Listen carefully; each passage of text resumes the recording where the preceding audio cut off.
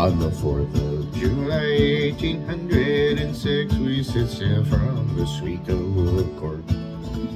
We were sailing away with a cargo of bricks for the Grand City Hall in New York. Was a wonderful craft, she is rigged fore and aft. Know how the wild wind drove her. She stood several blasts, she had 27 masts. They called her the Irish Rover. We had one million bags of the best rags. We had two million barrels of stone. We had three million sides of a blind horse's hides. We had four million barrels of bones. We had five million hogs, six million dogs, seven million barrels of butter. Had eight million bales of old nanny goat tails in the whole of the Irish Rover. There was old Mickey Coot who played hard on his flute when the ladies lined up for a set.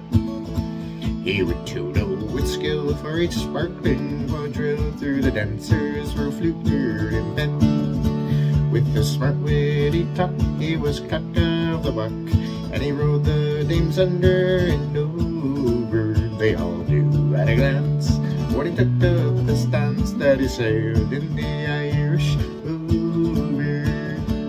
There was Barney McGee from the banks of the Lee, there was Hogan from County Tyrone. There was Johnny McGurk, who was scared stiff of work, and a man from Westmeath called Malone. There was Slugger O'Toole, who was drunk as a rule, and fighting Bill Tracy from Dover. And your man Mick McCann from the banks of the Bann was the skipper of the Irish Rover.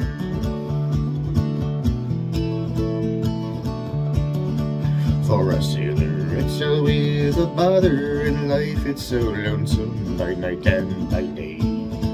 That he longs for the shore and a charming young whore who will melt all his troubles away.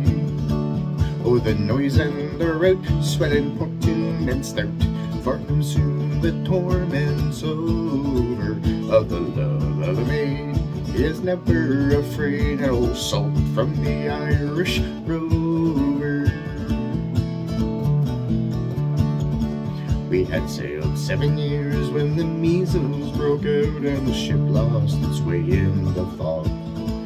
And that whale of a crew was reduced down to two, just myself and the captain's old dog. Then the ship struck a wreck, oh Lord, what a shock.